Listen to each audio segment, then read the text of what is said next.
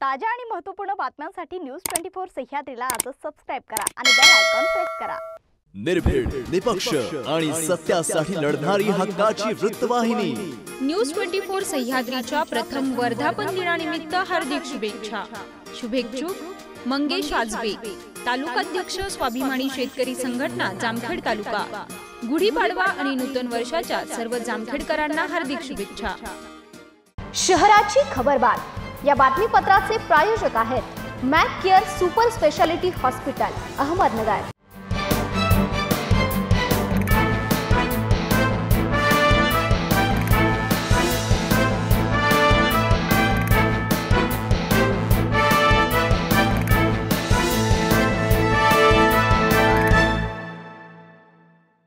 प्रेक्षक हो नमस्कार. मी आकाश. न्यूज ट्वेंटी फोर सह्याद्रीमध्ये आपण सर्वांचं स्वागत. घेऊया शहरातील महत्त्वपूर्ण बातम्यांचा आढावा शहराची खबर बातमध्ये.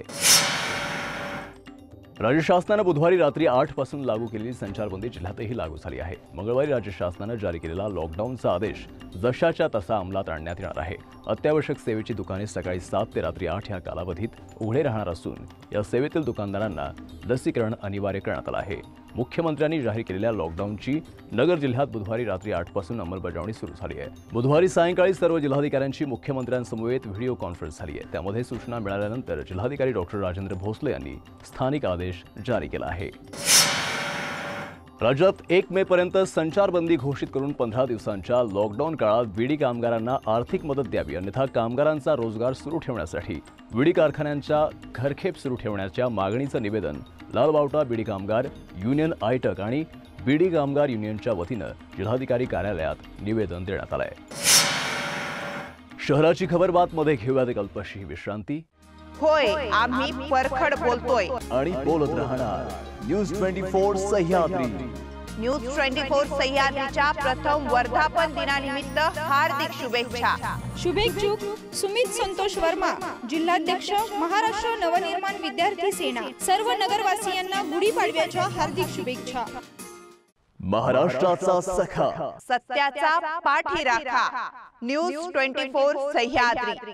News twenty four सह्याद्रीच्या प्रथम वर्धापन दिनानिमित्त हार्दिक शुभेच्छा. शुभेच्छुक माननीय श्री मदन आढाव नगरसेवक महानगरपालिका अहमदनगर मदन आढाव मित्रमंडळ बोल्हेगाव नगर शहर शिवसेना. सर्व नगरवासियांना गुढीपाडव्याच्या हार्दिक शुभेच्छा. या अल्पशहा विश्रांतीनंतर आपण सर्वांचं पुन्हा एकदा शहराची खबर बातमध्ये स्वागत.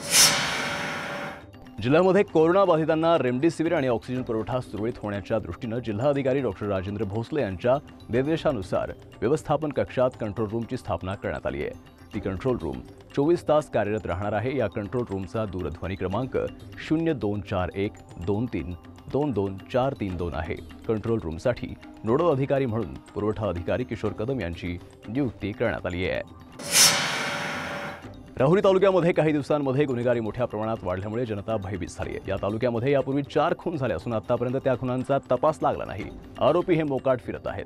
पत्रकार रोहिदास दातीर यांनी वेळोवेळी राहुरी पोलीस स्टेशनला संरक्षणाची मागणी केली होती परंतु त्यांना कुठल्याही प्रकारचे पोलीस संरक्षण दिलं गेलं नाही. त्यांच्या अपहरण झाल्यानंतरही त्यांच्या पत्नीनं अपहरणाचा गुन्हा दाखल करून तात्काळ आरोपींना अटक झाली पाहिजे असं असतानाही त्यांना अटक झाली नाही. आज दातीर कुटुंबियांची भारतीय जनता पार्टीच्या शिष्टमंडळानं भेट घेतली असून पोलीस प्रशासनाची तपासामध्ये असलेली भूमिका संशयास्पद आहे असं एकंदरीत समोर येत आहे. अशा मागणीचं निवेदन पोलीस अधीक्षक मनोज पाटील यांना देण्यात आलं यावेळी माजी मंत्री शिवाजी कर्डिले भाजपचे जिल्हाध्यक्ष अरुण मुंडे नगर शहर जिल्हाध्यक्ष महेंद्र गंधे आदी उपस्थित होते. कोरोना संसर्ग विषाणूंचा प्रादुर्भाव मोठ्या प्रमाणात वाढत असल्यामुळे नगर जिल्ह्यामध्ये मोठ्या प्रमाणात रुग्णसंख्याही वाढत आहे.